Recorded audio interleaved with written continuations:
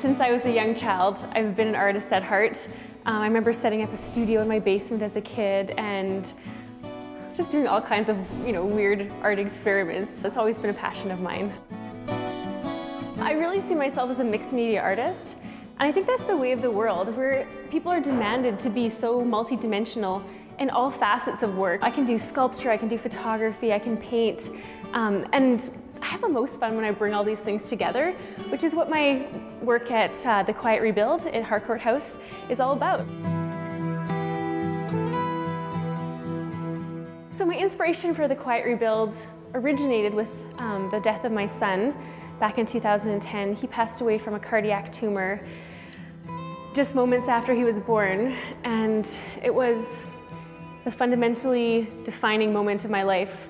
So when I became pregnant with my third child, Eden, I realized, you know, I need to find healing. I need to see what that looks like for me.